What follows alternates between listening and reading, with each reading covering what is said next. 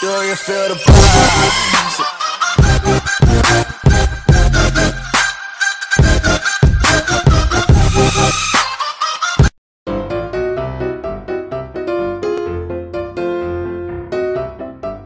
kali ini kita bakal sedikit mengulas tanda-tanda kamu akan kalah di Mobile Legend, padahal belum masuk area pertarungan. Sebenarnya untuk melihat jalannya pertandingan di Mobile Legend itu sudah bisa kita prediksi pada saat tiap pemain memilih hero yang dipakai. Dari situ aja, mungkin kita sudah tahu kelebihan dan kelemahan masing-masing dari pemain atau komposisi dalam satu tim. Apa aja sih tandanya kalau kita itu bakalan kalah di Mobile Legends ketika dalam pertarungan? Oke langsung aja untuk yang pertama Rebutan hero. Alasan kamu akan kalah di Mobile Legends adalah rebutan hero. Biasanya kejadian seperti ini terjadi pada saat kamu bermain solo di rank Dan bertemu dengan orang-orang yang memang tidak kita kenal Dan juga sok jago. Mungkin bisa jadi karena memang belum ada chemistry antar pemain dalam satu tim. Tidak aneh kalau ada pemain yang punya hero jagoan sama Misalnya aja ada dua orang yang memilih hero marksman atau tidak ada satupun yang mau pick hero tank.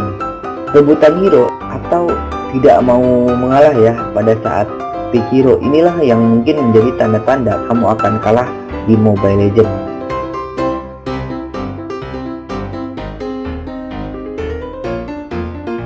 Untuk yang kedua, dipaksa pakai hero yang memang kita tidak bisa. Kalau poin pertama adalah rebutan hero, Nah alasan kedua ini tidak jauh soal hero. Tanda kamu akan kalah di Mobile Legends yang selanjutnya adalah salah satu pemain yang dipaksa pakai hero tertentu.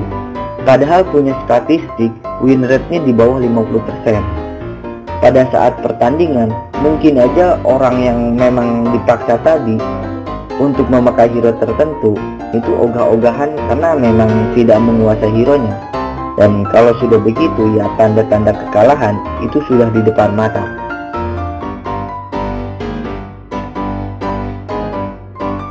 Tanda-tanda kamu bakalan kalah untuk yang ketiga itu chat saling memaki atau kata-kata yang kasar.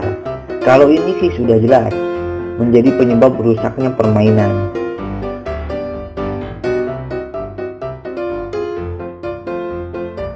Dan tanda kamu bakalan kalah di Mobile Legends selanjutnya adalah internet yang lemot. Mobile Legends itu merupakan game mobile yang sangat mengandalkan koneksi internet yang cukup stabil, tidak perlu terlalu cepat, yang penting stabil. Dan tentunya kamu tidak akan menginginkan ketika di tengah-tengah pertandingan koneksi internet menjadi terputus. Sebenarnya indikasi internet lemot ini bisa ditemukan pada saat kita masuk gameplay di mana loadingnya ya cukup lama. Untuk yang terakhir, AFK. Tentu dengan adanya satu pemain AFK, ini akan merugikan satu tim sekaligus. Biasanya pemain-pemain yang sering AFK ini bisa kita temukan pada level-level bawah seperti elite atau master. Alasan AFK pun bermacam-macam mulai dari sinyal internet yang lemot, ada panggilan telepon ataupun punya urusan lain yang membuat si pemain itu harus keluar dari permainan. Atau bisa jadi karena poin ketiga tadi kata-kata kasar atau yang mengandung unsur caci makian